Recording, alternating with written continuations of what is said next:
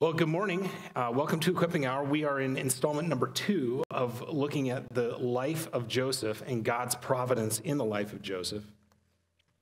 Last week, we looked at chapters 37 through 41 of Genesis, and we saw Joseph go down to Egypt.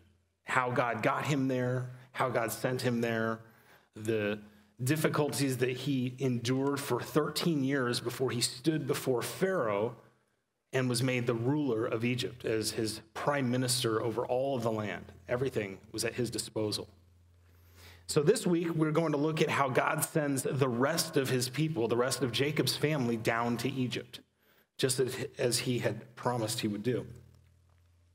And so, in chapters 42 through 47, what we'll look at today, I have the outline there on the screen of uh, the entire series.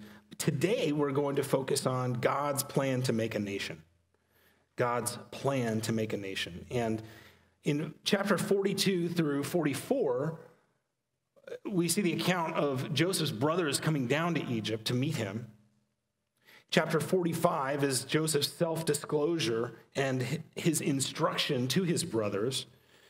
And chapter 46 and 47, we see J- Jacob's entire household come down from Canaan to Egypt, and God puts in motion a incubation period that would 430 years later be the nation of Israel.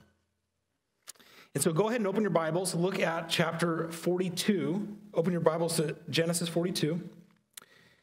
And I want you to just remember as we go through this series that the purpose of the series, the purposes that we have here for equipping hour is to think rightly about God's providence. And sometimes just thinking rightly about God's providence in the moment is just to simply define it. And that is that God's providence is his sovereignty and his purposes. So God's sovereignty that cannot be violated and his purposes which always come to pass.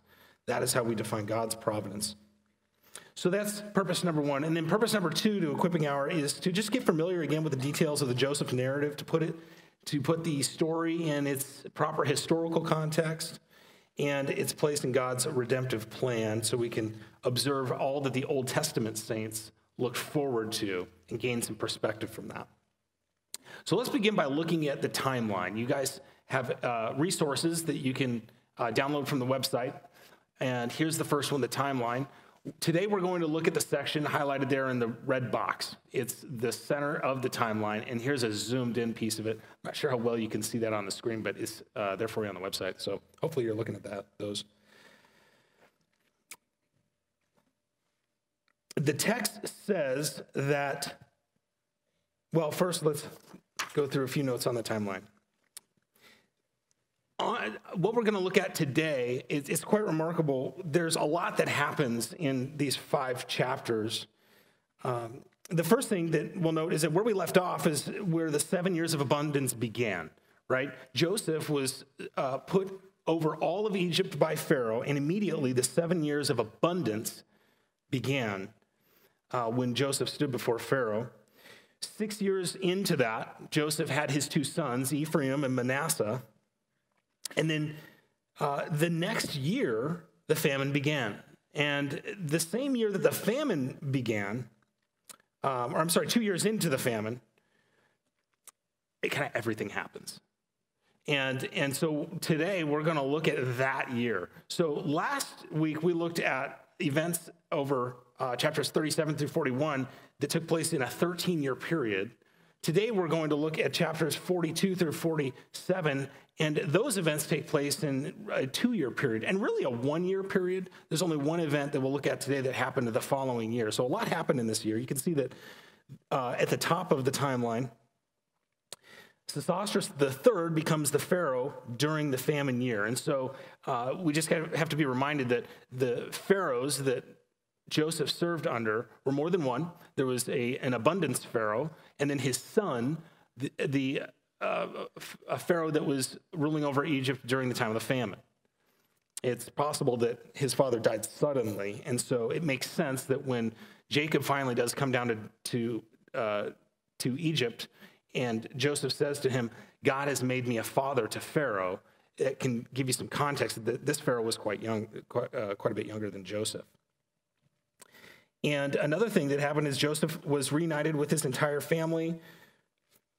Um, and really, everything we're going to look at today happens in, in, in a one year period. And then later, you see that last event Joseph buys all the livestock, all the land, and all the people for Pharaoh the following year. And then you have this big gap, which is a 17 year gap till uh, the next events that are recorded in chapters 48 happen Jacob uh, dying and then Joseph dying. So we'll look at that next week. So the text says that Jacob and his brothers came from Hebron and the Beersheba area down to see Joseph. And so I wanted to give you a depiction of what that route looked like. And so you've got a, a map, and if you can see the red line, you can see the land of Canaan there on the right, and then down the Nile Delta, Fayum Basin, where Joseph was stationed. Uh, at the top right of your screen there in Canaan, you've got Beersheba, the Hebron area, and then a 290 mile route to where Joseph would have been stationed in the Fayum Basin, where the large agricultural projects were, where he oversaw the construction of Sesostris II's um, pyramid and administrative government from there. To give you an idea, that the journey from Canaan down to Egypt, where Joseph was, was a 290 mile route. And what you see there is uh, an elevation change of only about 800 feet. So this is a long, flat, dusty route to Egypt. And a donkey caravan, which is what they would have been traveling with, would have taken maybe the brothers about eight days. Uh, that would be fast, but that would be them without any supplies. And then the larger caravans uh, that happen in the story when Jacob is brought down to Egypt, and then later when he dies, and an entire Egyptian caravan is sent back up to Canaan. Those caravans probably took 12, 14 days. So that'll give you an idea of uh, what the back and forth looked like for them.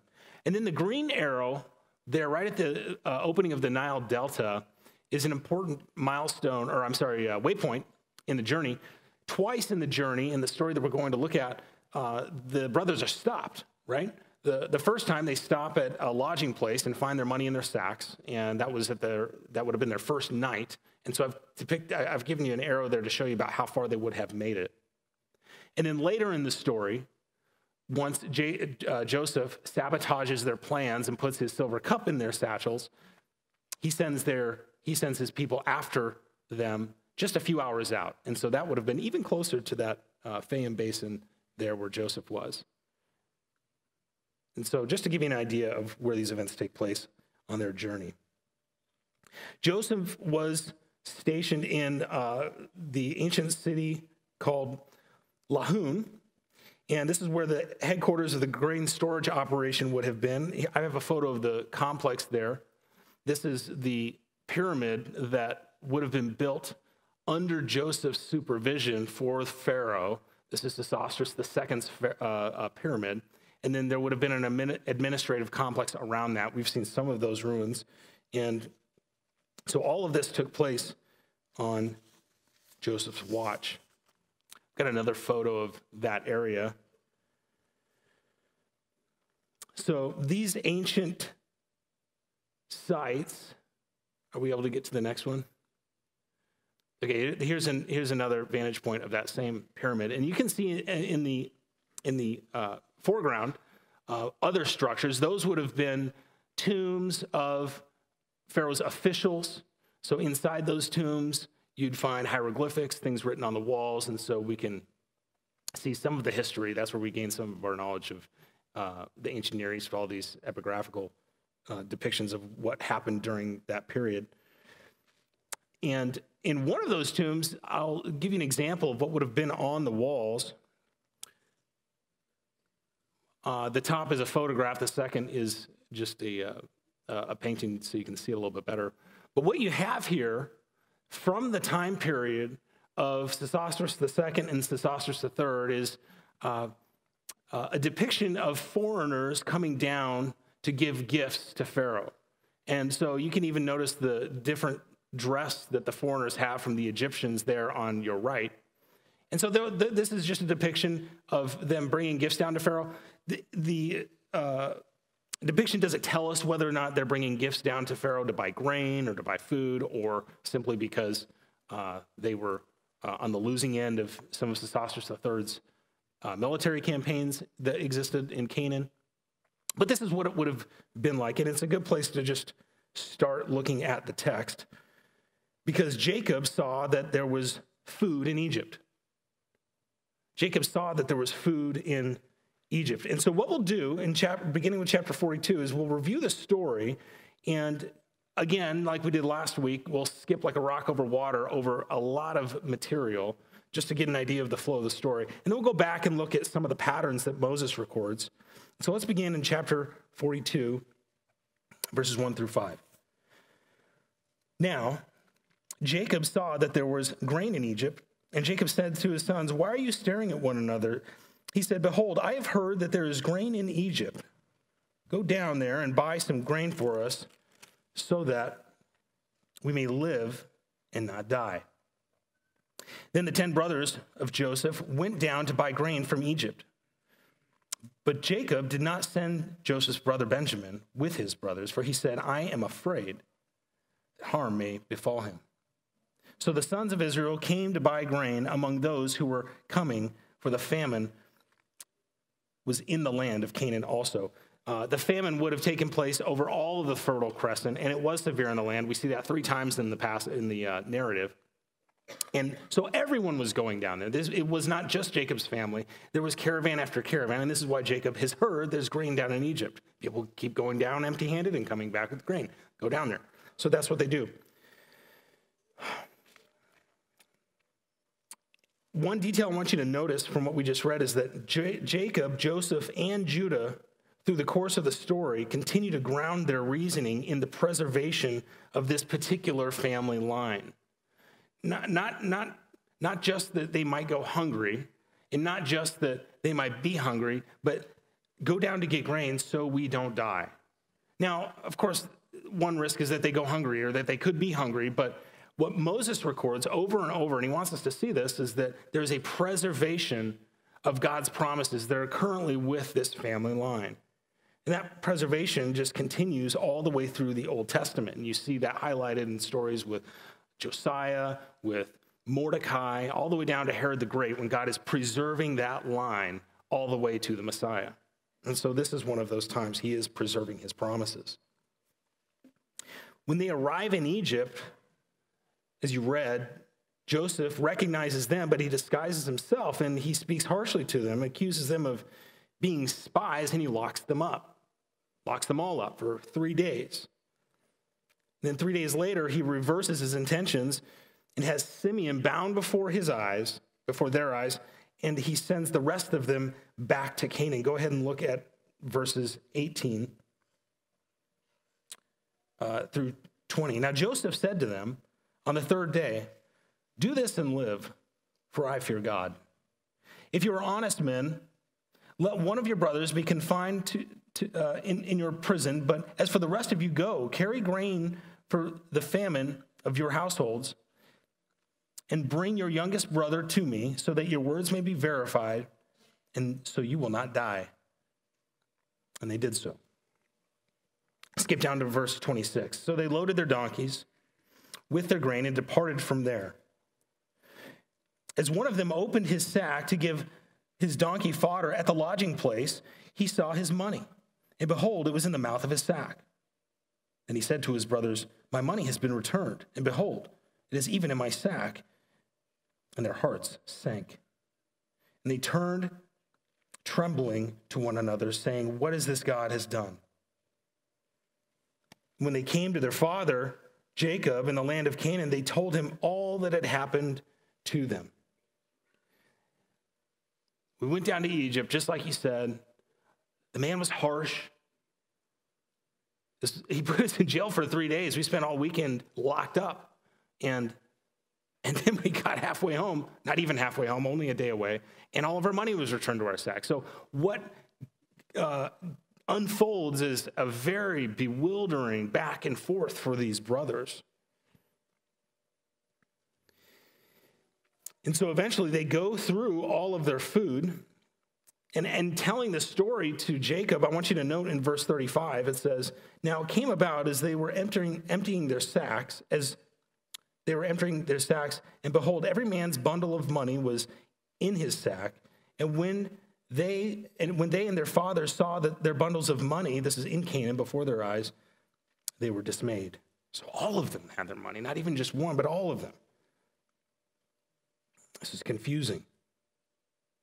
And so they stayed in the land of Canaan for probably four to six weeks. And we know that because when Judah eventually says, Look, Jacob, we, we could have been there twice by now. We could have returned twice by now. That would have fit about a, a four to six week period. And so that's what he says. Judah reminds Jacob that the man says, Don't come back without Benjamin. He says, Don't come back without Benjamin. And so Jacob replies in chapter 43, verse 6, saying, Why did you treat me so badly by telling the man whether you still had another brother? But they said to him, The man questioned particularly about us and our relatives, saying, Is your father still alive? Have you another brother? So we answered his questions. Could we possibly know that he would say, Bring your brother down? Judah said to his father, Send the lad, the 38 year old lad, Benjamin, with me, and we will arise and go, that we may live and not die. We, as well as you and our little ones. So Jacob says, All right, bring Benjamin and bring gifts too. Bring almonds, bring bring balm, bring everything from the land, the very best of the land. And, and guys, this time bring double the money and give it to them. So, verse 15 the men took this present and took double the money in their hand, and Benjamin as well. And they went and arose and they went down to Egypt and stood before Joseph. And in their anxiety over all of this, they, they are afraid. They're afraid of what's going to happen. And when Joseph sees Benjamin, verse 16, he said to his house steward, Bring the men into my house and slay an animal and make ready, for the men are to dine with me at noon. And so the man did as Joseph said. And they brought the men to Joseph's house and they were afraid. They were afraid of what would happen next. They were afraid that their sins were going to come back to haunt them. And so, I want to look at verse 23, and I want you to take notice of something. This is a, maybe an, an, an extra detail to the main part of the story, but I do want you to see it. In their fear, they come to the house steward, the guy at the gate, and he says, Peace be to you. Be at ease. Do not be afraid. Your God and the God of your father has given you treasure in your sacks. I had your money. And really, nothing else is said about that exchange, but I think it's fascinating what does this Egyptian house steward know about the God of their father? This was, this was Joseph's house steward. That's why they knew about, that's why he knew about the God of their father. And this house steward, this servant, was in on it all with Joseph, carrying out the details of the plan that he had had, which appears to have changed time and time again. This was a bewildering moment for Joseph as well. But just in that verse, you can see that Joseph's faith wasn't a secret one. Pharaoh knew about Yahweh, his administration knew about Yahweh, Joseph's closest circles knew about Yahweh. And they could confirm Joseph's reputation of depending on Yahweh. So much so that his servant at the gate says, Don't be afraid. Your God and the God of your fathers have given you treasure. So Joseph comes home and they share a meal together. But the bewilderment continues in their journey. Look at verses 32 through 34. So they served him by himself, that's Joseph, and them by themselves, and the Egyptians who ate with them by themselves, because the Egyptians could not eat bread with Hebrews, for that was loathsome to them. Now, they were seated before him, the firstborn according to his birthright, and the youngest according to his youth. And the men looked around at each other in astonishment. This was a confusing journey for these men. But God was at work, and we'll see what God was doing in them. The next morning, all the brothers depart together, and Joseph sabotages their plan by putting his special cup, his silver cup, in their bags, sending them on his way. But just as they have departed, not far out, probably just hours, on the way to crossing the Nile, he sends his men after his brothers, and they are confused all the more. Their reaction is look, enough is enough. And then look at verse 8 of chapter 44. This has got to be Reuben. He says, Behold, the money which we found in the mouths of our sacks, we have brought back to you from the land of Canaan. How could we steal silver or gold from your Lord's house? With whomever your servant it is found, let him die. And we also will become the Lord's slaves, or your Lord's slaves. And so they drop their sacks, and his men find the silver cup they tear their clothes, and now they're at the mercy of Joseph once again.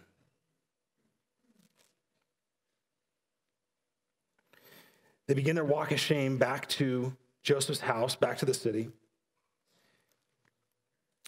And verses 14 through 15 record what happens when they get there. When, Joseph, when Judah and his brothers came to Joseph's house, Joseph was still there. And they fell to the ground before him. And Joseph said, What is this deed that you have done? Do you not know that a man such as I can indeed practice divination? Well, what is this divination all about? The, the, the word there, and it's uh, maybe a question mark in the story as you're reading through it. The idea of divination there was is the word's used once before, and um, it seems to be practicing a de- informed discernment that came from seeking insight from God directly. Laban uses this verb to determine that Yahweh has blessed his own household on account of Jacob's being there. And later, after the time of the patriarchs, this practice was outlawed by God because God had written his word and given it to his people for discernment. Nevertheless, Joseph pierces their conscience with the fear of God. And Judah replies in verse 16 and says, What can we say? What can we say to my Lord? What can we speak? And how can we justify ourselves? God has found out the iniquity of your servants. Behold, we are my Lord's slaves, both we and the one in whose possession the cup has been found. So now bewilderment has become total helplessness. And what follows helps us answer a couple questions. What was Joseph doing in all of this back and forth? What were his purposes? Why was he toying with his brothers? Changing his mind on who stays, who goes, locking them up, changing the plan, sending one back, sabotaging their, their plans, bringing them back making them at the mercy of, of, of his authority. And then, more importantly, what is God doing in all of this? Both of those questions can be answered by observing some of the same details in the story. And the details remind us that God is always at work in disorienting circumstances. God is always at work in disorienting circumstances. Nothing is a roll of the dice. Nothing is reactive. He's not playing catch up on what to do with your mess. He's not playing catch up on what to do with these brothers as they're going down to Egypt. For God's people, his intentions are always good, and his purposes always come to pass. Next week, we'll look at how the bad fits into the good and how that equation plays itself out. And God here is doing many things. He's doing several things in the story. Two of those things that he's doing in the story, he also does in your life, in my life, when we're in a time of crisis, when we're in a uh, elongated time of, of suffering or hostility. Number one, he's doing a sanctifying work. He's doing a sanctifying work. He's exposing sin. He's bringing that to the surface, bringing things to the surface that are patterns in our life that are not going to heaven with us and he's dealing with those things. So, so that we can see sin for what it is and put it to death. He's also refocusing your hope. When, when you are in a crisis circumstance, a bewildering moment, in disorienting circumstances, he is always directing you to that which is stable, the ballast in your life, God's promises. And so he is refocusing your hope fixing your attention on his intentions and promises. So those two purposes bear themselves out in the back and forth in this narrative that we just read. And so let's look at some of those details. Flip back to chapter 42 and verse 11. When the brothers first arrive in Egypt, they present themselves as honest men honest men. And, and the idea here is that they're morally upright, just, men who take the high ground. This might be how you present yourself to someone who has your life in their hands, who has the answers to the questions you think you need to have answered. And so these men present themselves as just. But they're presenting themselves to Joseph. And they're maintaining that before God. Verse 42 11 says, in response to Joseph's accusations that they are spies, we are all sons of one man, we are honest men. And then Joseph puts them to the test, saying in verse 19, if you are honest men, let one of your brothers be confined, and you guys go back. And then again, when they bring their account back to Jacob weeks later, they recount over and over again. Verse 31 We told the man, we said, We are honest men, we're not spies. That's how we've represented ourselves. And he said to us, By this I'll know if you're honest men. And again in verse 34, prove that you're not spies, but honest men. And so now you have what's framed up for us by Moses is a depiction of the men as they see themselves, which is just, upright, with a moral compass that works, honest men. This is a misrepresentation to their father. It's a misrepresentation to Joseph, the only authority that could help him. So Joseph says, All right, prove it. Prove that you're honest men. So he puts a test in motion. But why? Look at 42 16. Why is he putting them to the test? So that your words might be tested. Then again in verse 20, so that your words might be verified. 22 years ago, you were lying murderers. Can you be trusted? I put all that behind me, Joseph says. In fact, I named my son Manasseh because God has caused me to forget all my troubles and all my father's household. If this is not a struggle for me, I can evaluate you and say, I don't think you're honest men. You must be tested. And so that's what he does. So the problem is that they've represented themselves as honest, but externally, But internally, they are conflicted right off the bat. As soon as it comes out of their mouth that they're honest men, go ahead and look at 4221. They turn internally, so to speak, to one another and they say, Truly, we are guilty. So, so they're conflicted. Their conscience has been burdened for 22 years with murder and lying and manipulation and, and Joseph knew this. Jo- Joseph knew that they had another brother as well. And so the nature of his test wasn't to verify whether or not he had a brother, but the test was a real test. This was a genuine test that Joseph wanted to put before his brothers to say, Have you changed at all? Are you any different than you used to be? Because the brothers that I know are murderers. Can you be tested? I'm sorry, can you be trusted? That was the issue here. So what's he do? Joseph fills their sacks with money without their knowledge. And when they find it on their first night, probably about 12 hours out, at the lodging place, they tremble. See, honest men would have said, Guys, we have the grain and the money. We're supposed to just have the grain. And we have a whole nother week to go. Someone load up the money and send it back because, after all, we're honest men. But they don't do that. They keep going. And, and, and, after all, it's Jacob that instructs him to bring double the money the next time.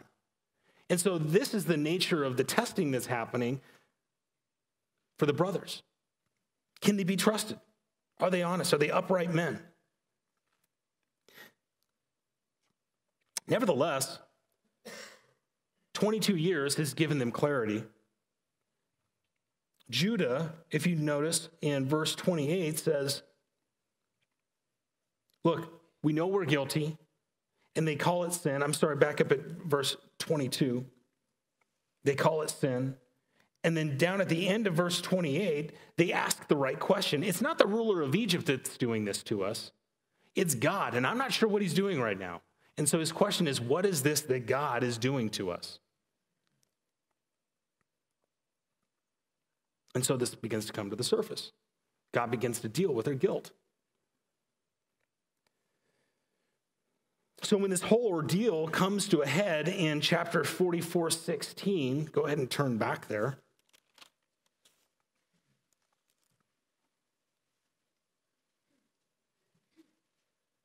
And they no longer have any control over their circumstance.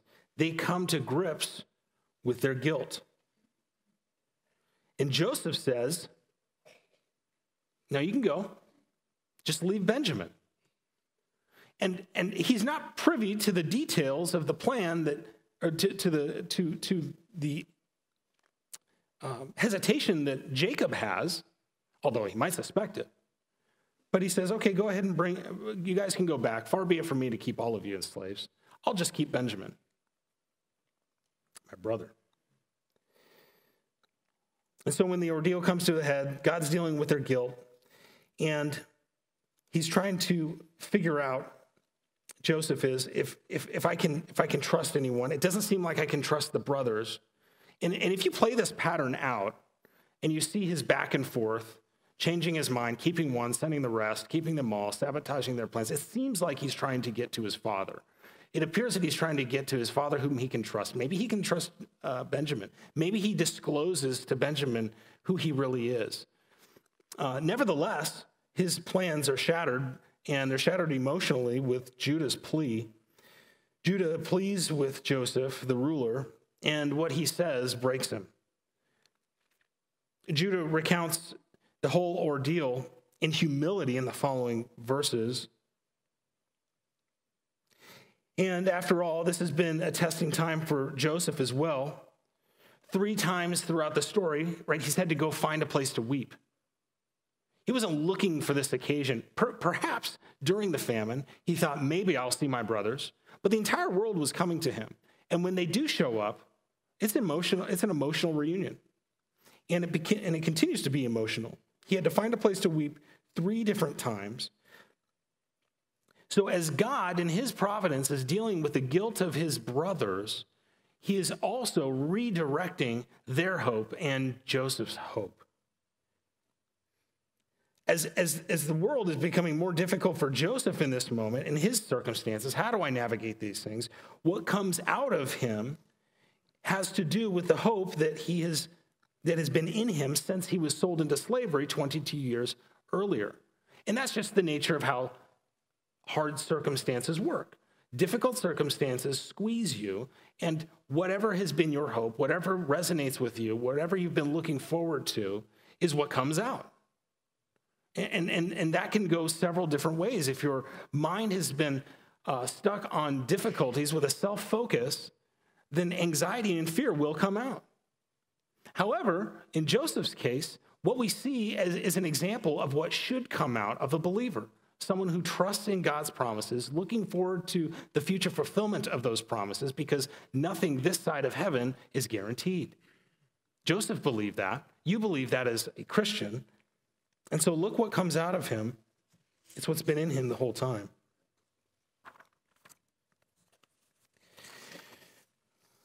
If it was vengeance and bitterness that was in him for 22 years, you can bet that's exactly what would have come out. He had the authority to do whatever he pleased, he had the resources that no one else had. And so he was absolutely in control of the situation. And so if he had anger that was stored up for 22 years, you can bet that these men would have been put to death, they would have been confined to jail forever, or whatever Joseph wanted. But notice what comes out over and over again, he's asking his brothers, without disclosing his identity because he cannot trust these men, Is your father still alive? Is he well? He's asking them detailed questions about their family. Is your old father, the one that you, that you spoke of, is he still alive? And perhaps he was going to get more disclosure from Benjamin about his father, concerning his father. We're not sure exactly because Judah has uh, several verses of dialogue in humility. But Joseph had banked his life on God's promises, and at this point in redemptive history, those promises had made it as far as Jacob. He didn't know to look for the tribe of Judah next. He didn't know to look for King David and all that the prophets would, prophets would later say. At this point, on God's timeline, his promises were with Jacob, and Jacob had not yet disclosed where those blessings would go next. And so Joseph needs to answer the question for his, for his own good. The only interest that he has in this moment is okay, this is a hard circumstance. I'm not sure how to navigate the details of today, but I'm refocused on what God has said he will do. All of the promises that he gave to Abraham, to Isaac, and to Jacob. That's where I've got to focus. And so what comes out of them is the natural question that would if those are where the questions were. What, is, is he still alive? Has he disclosed where the promises go from here? Has he given his blessing yet? He couldn't ask those questions of the men he couldn't trust that might disclose who he was. And so he simply asked the question Is your father still alive? So when Judah says, I, I, look, I can't, I can't go back. I can't go back without Benjamin. He says this 44 31. Look at verse 31. When he, that's Jacob, sees that the lad is not with us, he will die. Thus, your servants will bring the gray hair of your servant, your, our father, down to Sheol in sorrow. For your servant, that's Judah, became a surety for the lad to my father, saying, If I do not bring him back to you, then let me bear the blame before my father forever. Now, therefore, please let your servant remain instead of the lad as a slave to my Lord. And so here, Judah says, Look, just keep me. And, and, and that, that is utter humility. His plans were to go back. He had a promise that he made to his father, and he's following through in humility as an honest man,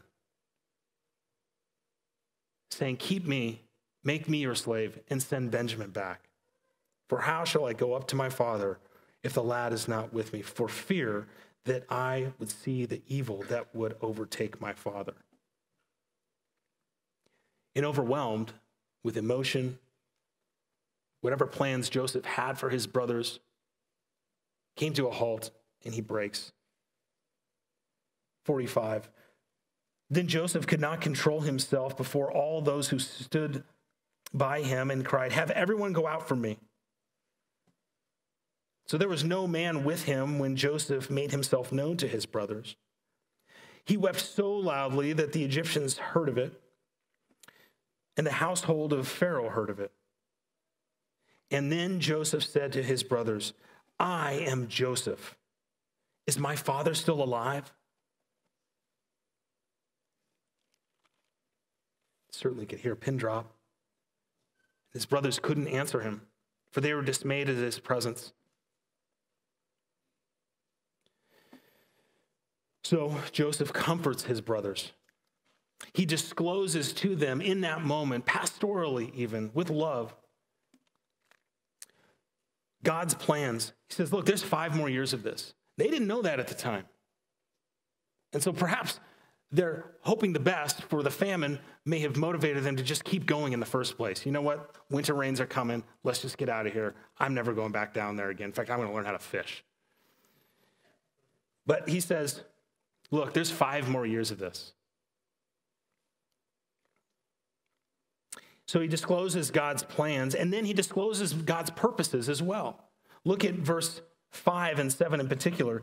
He says, Now do not be grieved or angry with yourselves because you sold me here, for God sent me here. That's a perspective of someone who's hoping in God's promises.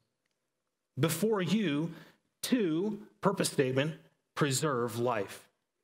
And in the Hebrew text, to preserve life is right there at the beginning of the verse. That was, his that was God's purpose, and that was the first thing that is on Joseph's mind God's purposes. That's the order in which you can have a ballast in your lives to keep God's purposes front and center. And so that's what he does. He says, To preserve life, God has done this. And then verse 7, another purpose statement God sent me before you. That is, it's not the back and forth that happened. God actually sent me, and then God actually sent you. Why? To preserve a remnant for the land and to keep you alive by a great deliverance. And this is just another testimony that, that Joseph has God's promises in mind, the details in the text. Um, in my uh, NAS, it says to keep a remnant in the, in the earth. Uh, I believe this is a, a reference to the land of Canaan and the Abrahamic covenant to keep a remnant for the land. And then, literally, the wooden translation of the rest of this would be, and to keep alive a great number of survivors. Imagine that land and a great number of survivors. That's God's purposes in this. That's what He's doing right now. And so be settled that it's God at work here.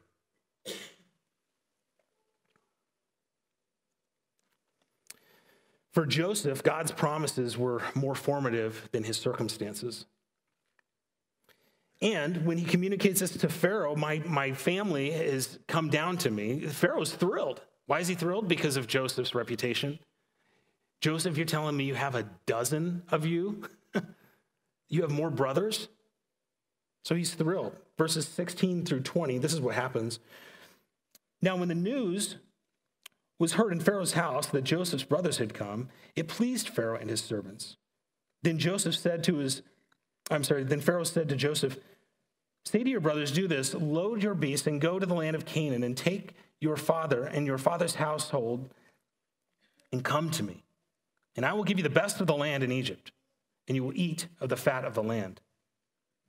Now you are ordered, Joseph, do this take wagons from the land of Egypt for your little ones and for your wives, and bring your father down.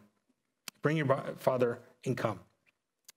Do not concern yourselves with the goods or the best, for the best of all the land of Egypt is yours. All of Jacob's household comes down to Egypt as it's recorded in chapter 46, along with Joseph's plans to establish them in Goshen.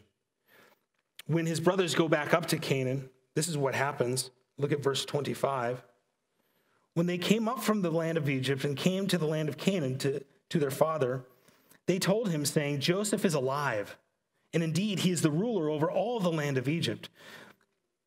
But he was stunned. The text says that Jacob's heart stood still, for he did not believe them. When they told him all the words of Joseph that he had spoken to them, and when he saw the wagons that Joseph had sent to carry them, this would have been a royal caravan, the spirit of their father was revived. Then Israel said, It is enough. My son Joseph is alive. I will go see him before I die. So Israel set, sent out with all that he had and came to Beersheba and offered sacrifices to the God of his father Isaac. And then it's at that time that God speaks to him once more and says, Jacob. Jacob says, Here I am. He said, I am God, the God of your father. Do not be afraid to go down to Egypt, for I will make you a great nation there. I will go down with you to Egypt, and I will also surely bring you up again, and Joseph will close your eyes. Wow. Joseph reunites with his father, and the entire household comes down 66 in all including jacob's joseph's household there's 70 of jacob's household there in egypt and they settled in goshen and in the city of avaris which is later renamed ramses after the great pharaoh that would live centuries later but when jacob does arrive joseph brings him to pharaoh and i want you to see in chapter 47 beginning verse 7. Then Joseph brought his father to Jacob and presented him to Pharaoh. And Jacob blessed Pharaoh. Pharaoh said to Jacob, How many years have you lived? So Jacob said to Pharaoh, The years of my sojourning are 130. Few and unpleasant have been the years of my life nor have they attained to the years of my fathers that they lived during the days of their sojourning. And Jacob blessed Pharaoh and went out from his presence. And that Pharaoh was blessed. This real blessing did occur, and that Pharaoh was blessed. Sesostris III's reign lasted about 50 years. So, another 40 years or so after this event occurred. And so, with Joseph's influence on Pharaoh and Jacob's blessing that he gives to him, this Pharaoh uh, accomplished more than any other Pharaoh before him. And the archaeological and epigraphical records tell us that during his reign, the political landscape changed completely. Up until this point, there was a system of nobles, right? You can think of uh, a president and governors, although it would be quite different because these were sovereigns. And so the noble system uh, was throughout the entire land of Egypt, and, Joseph, and, and, and Pharaoh was just sitting on top of that as the sovereign of the land. And, but in this time period, what, what conventional scholarship cannot explain is that the system of nobles completely vanished. And, and they, they would say in a very short period of time, we would say on an afternoon because we have the biblical text. We actually know why that system of nobles vanished. Uh, the political landscape absolutely changed, and for 230 years, the only biographical information that we have and the only um, uh, epigraphical information, that is the hieroglyphics, uh, recount stories of the sovereign pharaohs. The, the under rulership in Egypt was completely gone.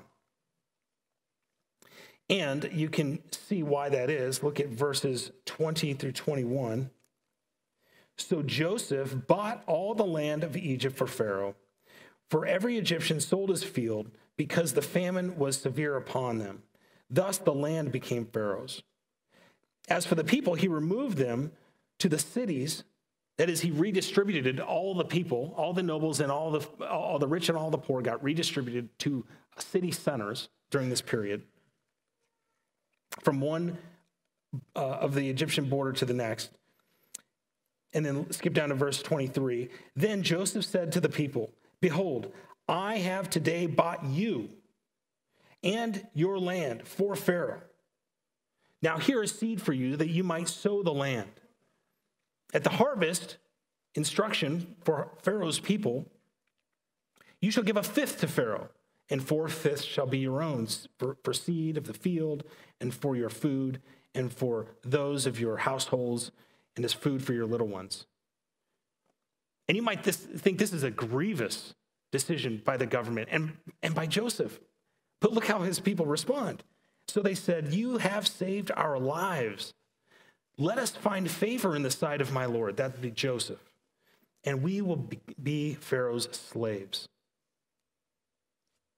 So it's true.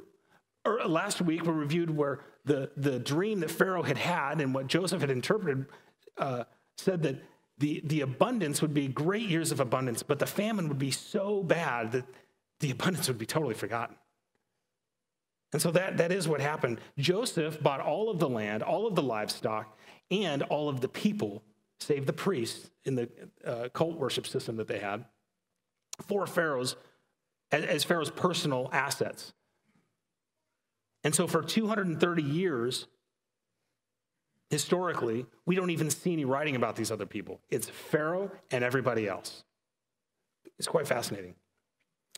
And so, uh, Jacob, when he blessed Pharaoh, he, he surely was a blessed king and, and reigned another 40 or so years. But for Joseph, increasing Pharaoh's prosperity and his kingdom was no threat to God's purposes. And so he, he, didn't, he didn't have God's purposes in one hand, his promises, and then, and then try to be the, the solver for God's promises. He was dependent on God's promises, looked forward to those promises, and knew that his job was today where God had him. And so he was faithful to what God had in front of him that day. And, and for Joseph, his job was to in, increase the reign of his master on the earth and and he knew that this would be no problem for God. In fact, he might have even recalled that God told Abraham, Surely your people, your descendants, will become slaves in a land not their own 400 years. I have no doubt in my mind that Joseph, as he got older, saw this is exactly what's going to happen. It's going to happen here in Egypt. And, and I played a role in that part. And, and, and, and he wouldn't have said, I'm grieved over increasing Pharaoh's kingdom. He would have said, God had me do a job and I did that job faithfully. I did it well here on the earth. And no expectation this side of heaven is where my hope is. And so we can learn from that. And so, in that way, Joseph and the prophet Daniel have some parallels, right? Both lived as high officials under a pagan king, looking forward to future expectations. And yet, for the moment that they lived in, they administrated government with exemplary leadership as a slave, submitting to their earthly authority with an unwavering faith. And so, uh, I have one more photo for you just to demonstrate that this is perplexing to modern scholarship that sees tombs from this period that are unfinished. You can see here's one example uh, where a tomb was built during this period, and there's no plaster on the walls. When, if you went down into that tomb, you would normally take a left or a right, but the, the, the shafts just stop midstream. And along with that, all of the biographical material from this period just stops. And Joseph played a role in that because he bought all of the people for Pharaoh. And yet there was no conflict with the plans that God had had. And so jo- Joseph did his job in his day, looking forward to God's future promises all the way to the end. Next week, we'll look at the end. There is a 17 year gap between what we've looked at today and chapters 48 and, I'm sorry, 49 and 50, where Jacob dies and then Joseph dies. We'll look at those in detail and see their faith strong all the way until the end. So be reading chapters uh, 48, 49, and 50, and then also look at Hebrews 11. Two occurrences that we're going to look at the death of Jacob and the death of Joseph are both recorded in Hebrews chapter 11. So go ahead and look at that as well. we'll go ahead and finish there, and we will see you next week.